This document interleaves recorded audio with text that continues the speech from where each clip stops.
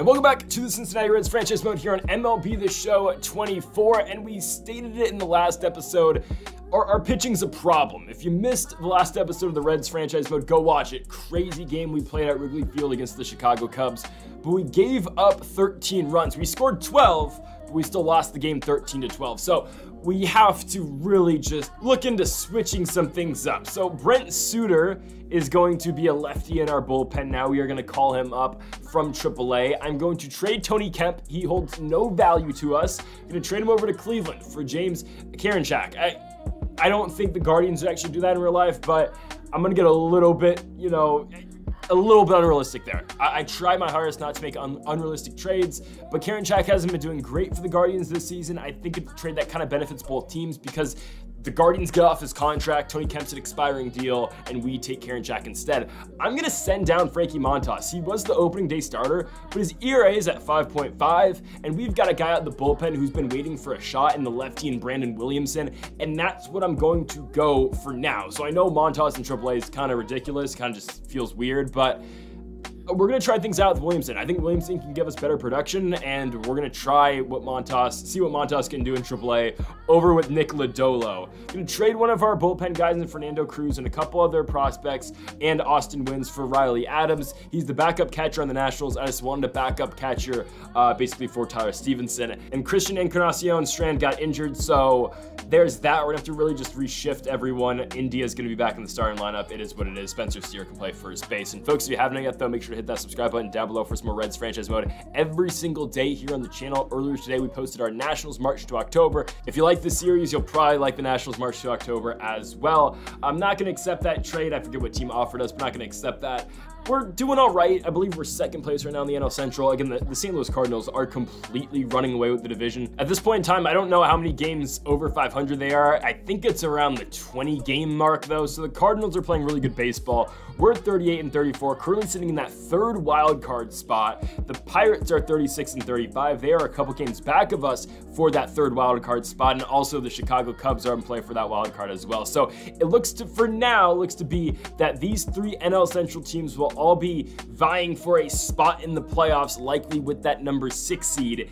in the National League playoffs. We'll see though, again, a long season ahead. This is only game what? I think like 78-ish. Bryce Miller making the start tonight for the Pirates. They traded David Bednar about halfway through the year, and in return, they got Bryce Miller. So Miller's been all right for the Pirates, 3.96 ERA so far in the season. But again, you know the offensive firepower the Cincinnati Reds have. They are going to connect, and they are going to try to hit the ball very far and hard. As TJ Friedl is going to fly out to start off this game, here's your Reds lineup for tonight. It goes Friedl, McLain, Candelario, Martinez, De La Cruz, Benson, India, Stephenson, and Steer in the nine. Again, JD Martinez has been that veteran presence for the Reds. We signed him midway through the year, and he's been very good for us. He leads our team already in home runs. But there's the candy man. There's Jeimer Candelario, barely making contact right there and just putting that ball into center field. He'll be on with a two-out single for JD Martinez, but Martinez is going to get jammed on that inside fastball by Miller. Let's go to the bottom of the first. Here comes John Means, a guy we picked up as well in the middle of the season. He's been very good for us, 2.68 ERA. He's been our best pitcher. We've talked about the troubles that we've seen out of guys like Nick Lodolo, like even Hunter Greene, who's still obviously in the rotation, but Frankie Montas, two guys in Montas and Lodolo who have been sent down. John Means has been our best guy by far. The lefty who we got from Baltimore has been dealing with some injuries as what a player right there at third by Jeimer Candelario to take that hit away from Andrew McCutchen. But Means has been our best guy. So let's see what we can get out of him here tonight. Hopefully he doesn't give up a million runs like Hunter Greene did in our last game. That Rowdy Tellez ground ball is going to get past Candelario. I thought that was a very playable ball, but it's fine. And now Peguero is going to walk. So they're loaded with two outs, 3-2 count. Connor Joe can't pull the trigger. The former Colorado Rocky goes down looking, and John Means is going to have the Pirates leaving three men on base to end the inning. Let's go to the top of the second. There's Elly De La Cruz. There's going to be a triple for him. I think he should have this pretty easy. Yeah, Elly De La Cruz in there with a leadoff triple. A guy immediately on third base for the Cincinnati team. And here comes the lefty, Will Benson, batting 291 in the year, but he gets struck out on the circle change. Nice pitch placement right there by Bryce Miller. In comes Jonathan India off the leg on the line drive of Bryce Miller it's going to score De La Cruz and India's going to be safe. So it's a base knock for India and an RBI. Miller stays in the ball game. Tyler Stephenson now comes up trying to pull that inside fastball, but ranging back will be the left fielder in Bryan Reynolds. Two gone in the inning for the nine spot. Spencer Steer obviously playing a lot more due to the injury to Christian Encarnacion, and same with Jonathan India. Steer is going to fly out into right field. Edward Olivares is going to lead things off for the Pirates in the bottom of the second. Hopefully Means can really just settle in here as he will get that strikeout of Olivares. Henry Davis now the catcher, the former first round pick for the Pirates will fly out into right to Will Benson. Two gone for the nine spot. Nick Gonzalez, the second baseman, swing and miss. Means up and in on the fastball. Let's go to the top of the third. TJ Friedl up first for Cincinnati, and that ball is going to get through. The leadoff man is on for the Reds, bringing to the plate the left fielder and Matt McLain. He's been so good this season for Cincinnati, and he's going to put that one to right field. First and second, no outs for the Reds. Jeimer Candelario on the 1-2 rolls one though. Tellez to short, and there's going to be a double play turn for the Pirates.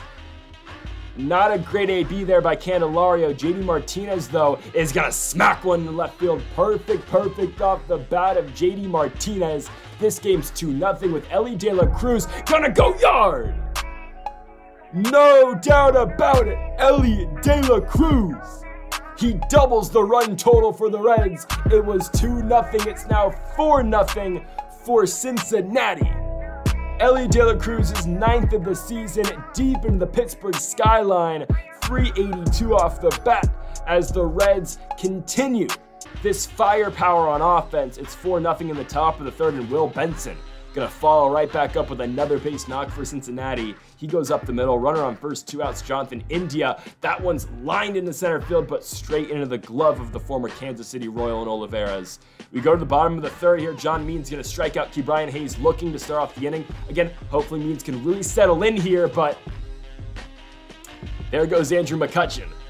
Clutch, the former NL MVP, takes John Means' yard he you know hit the baseball really hard in his first AB, and now McCutchen goes 387 into deep left, his 12th of the year, getting the Pirates on the board. It's 4-1 with now the switch hitting left fielder and Bryan Reynolds flying out into center field to TJ Friedl. So again, as we saw in the last episode with that game against the Cubs, our opponents really are never out of things considering our pitching staff isn't the greatest. Now, again, John Means is our best pitcher, but his pitch count is really high already through three innings. The Pirates have been working counts. They've been fouling balls off. Again, that legend difficulty for pitching does make it hard sometimes.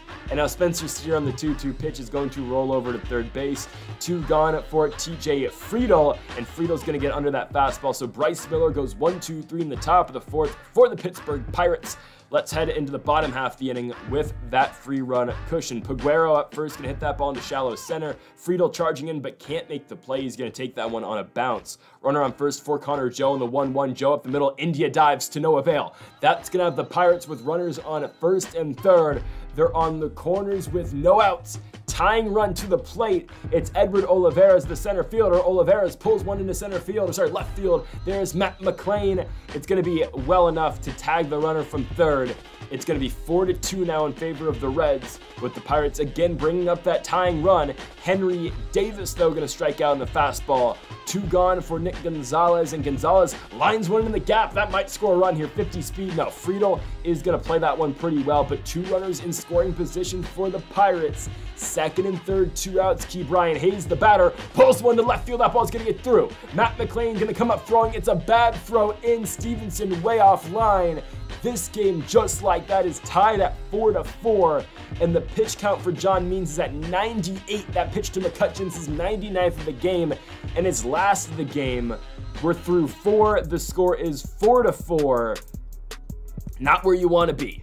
But Matt McLain is going to pick it right back up on the offensive side of the ball. McLain's going to pull one deep into left field. There is Bryan Reynolds, but obviously bounces off the wall. McLain has got himself a leadoff double. In comes Jeimer Candelario, and the Candyman, though, is just going to roll over to short. Nothing we can do with that as Peguero makes the play. JD Martinez on the 2-2, though, strikes out on a slider down and in. Two gone for Elly De La Cruz, and the Reds struggled to put up any runs here in the top of the fifth inning. Let's see if the Pirates can really take advantage here as we go into the bottom half of the inning. And now we're going to see the pen. Brent Suter, the lefty, has not done well since his promotion. 6.3 ERA over 10 innings pitched. Let's try to change that right now. But Bryan Reynolds, not the hardest hit baseball, but he's just going to place it in the right field. Reynolds is on with a leadoff base knock. Now to the plate, Rowdy Tellez, lefty-lefty matchup. We like this matchup with Suter, and there you go. He doesn't throw the hardest, more of a finesse guy. He's going to get Tellez on the slider, and now he's going to get Peguero to pop out to Jonathan India. So two down, now up will be the DH and Connor Joe. One, two pitch, Joe way out in front of a circle change, and Suter sets him down. So a pretty good outing, at least from what we've seen out of Brent Suter. Let's go to the top of the sixth. Will Benson puts one to left field, and oh, it's going to get past Bryan Reynolds. A mistake out there by Reynolds in left field is going to allow Will Benson to go for a triple. The second triple of the game for the Reds and the second leadoff triple of the game for Cincinnati. You saw Elly De La Cruz earlier, now Will Benson. This Jonathan India flyout, though, I don't think is deep enough yeah, charging into Olivares, I'm not going to try it with just one out now. So here comes Tyler Stephenson on the 1-1, hits one hard to third. Benson's breaking off contact, and nothing the Pirates can do but just get out Stephenson at first. So a 5-4 lead now for Cincinnati. They've retaken it, and Spencer Steer now with a nice base knock into right field. Steers on with a two-out single. TJ Friedl now on the 1-1. Is that going to drop in center? Olivares charging. It will not. To the bottom of the sixth, here comes the former Guardian, James Karinchak, 3.77 ERA. Obviously, just got him in trade. We are seeing what he and Suter, the two newest additions to this bullpen, can do. And he's going to strike out Olivares on a fastball up and in. Henry Davis now. Oh, I thought that two-seam fastball got in there. Don't love the call on that. Nick Gonzalez, though, looking silly on that knuckle curve. Tyler Stephenson with the throw down to second. Runners in there safe as Davis. So runner in scoring position for Ke'Bryan Hayes. He's been kind of silent today and he's going to stay silent. Strikeout on the fastball. Bad swing from the Pirates third baseman. Let's go to the top of the seventh. Matt McLain up first. Hard hit ball into center field. It's just caught, nothing you can do about it. Jeimer Candelario rips one right center field. Again, he's been so productive this season from the plate. Candelario, the switch hitter, is on with a one out double. And you know who's next? It's going to be Elly De La Cruz after a JD Martinez intentional walk. De La Cruz goes deep left field. That ball's out of here in a hurry. Elly De La Cruz. I mean, that ball got out in an instant. He is the face of the franchise for a reason. His 10th of the year goes 389 feet, 105 off of the bat. Elly De La Cruz makes this an 8 to 4 game just like that. Cincinnati back up by four runs. We just gotta hope our bullpen doesn't completely blow this game. Will Benson grounds out to second. By the way, new pitcher in for the Pirates. It's uh, Roansy Contreras, Jonathan India, well hit ball into left field. Bryan Reynolds, man, I mean, I know it's a tough play, but Bryan Reynolds is having himself a very tough day out there in left field. That's the 14th hit of the night for the Reds. India's double, but Tyler Stephenson can't get anything going with two outs. Still, though, Cincinnati up by four. And now we go to one of our more consistent guys in the pen. We've had Emilio Pagan, who's been very good for us. I would say Tejay Antone's been excellent so far this year as well, um, as well as our closer, Alexis Diaz. But man, Matt McLain lays out to make that play. He will not. McCutchen probably could have had three right there, but Clutch will stay at second. Pagan dealing with a guy in scoring position. Bryan Reynolds rips one into center field, but TJ Friedl is right there to make the play. One gone now for Rowdy Tellez on the 2-2 pitch. Swing and a miss. 81 mile an hour curveball. Pagan sets him down. Peguero on the 2-1, and Pagan's gonna get out of trouble. After giving up a leadoff double, he set, settles in and does his job. 8-4. I think we could probably see Pagan out there for another inning. Might as well. Matt McLain comes up here at two outs in the top of the eighth. Nothing happening early in the inning. Okay, bro. He didn't need a jump throw there. He doing too much. Let's go to the bottom of the eighth. Pagan staying in the game for Connor Joe. Joe gonna put one on the ground to Jonathan India. Routine first out for the red second baseman. One out for Edward Olivares on the 1-2 pitch. Got him. Fastball 98 on the gun for Pagan. Two down for the catcher Henry Davis. He aligns one deep left field. McLain going back though. Hey, right guy at the right place will take it. Let's go to the top of the ninth. We have bases loaded here for Tyler Stephenson. He's 0 for 4, but unfortunately, He'll be 0 for 5. They're going to get the force out at second base, straight on to the bottom of the ninth inning. Not a safe situation, so let's bring in the setup man. Tejay Antone, 1.5 ERA. Again, I talked about it earlier. The guy's been very good. Nick Gonzalez up first, swinging a miss, not even close on the Antone slurve. Ke'Bryan Hayes on the 1-2 pitch, got him. Sinker down and away. Two gone in the inning, last hopes Andrew McCutchen on the 1-2, and Tejay Antone, my goodness. Strikes out the side in the bottom of the ninth inning against the Pittsburgh Pirates, and the Cincinnati Reds win this one by a score of 8 to 4 on the road. They improve their regular season record to 39 and, 39 and 34, and for the Pittsburgh Pirates, they have now gone back to 500 with a 36 and 36 record. Brent Suter picks up the win, obviously, with Means not going the full five. And again, the Reds out hit the Pirates 14 to 8. That's all we can ask for. Another good performance for the Cincinnati Reds, as again, we keep on going here in the 2024 MLB season. So, folks, thank y'all for watching. Make sure that subscribe button down below for more. So leave a like if you did enjoy the video. See y'all tomorrow for another Reds franchise. Go make sure to check out the Nationals March to October while you're at it as well. Again, folks, thank y'all for watching, and Mamba forever.